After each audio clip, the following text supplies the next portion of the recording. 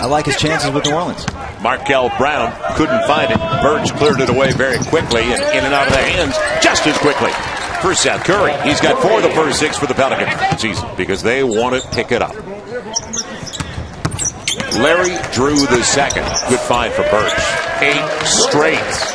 27th in pace of play. They were the fourth slowest team in the league for being that young. Drew had the advantage. Beautiful setup. Running the baseline, Seth Curry. Larry Drew the second with a dime. Court. Had a quick backcourt. Jones, more of a shooting guard than a lead guard anyway. Saw him at UCLA, and Larry Drew the second, showing his range. You saw the support from a couple of the bats. There's Eric Gordon there with Quincy Pondexter.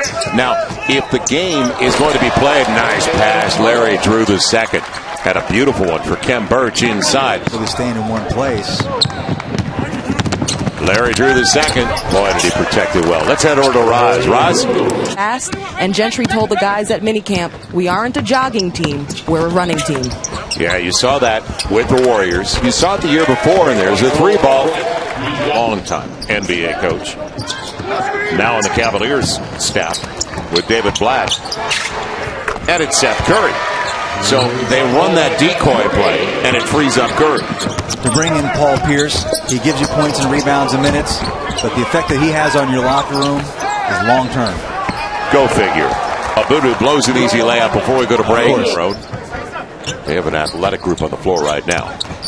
Not a big lineup, but it's taken away as I say that. Well timed reading the passing lane. Larry Drew the second. And still 22. Almost a full shot clock for Boatright. Drew the second. Active hands to Sean Jones. And a lead for New Orleans.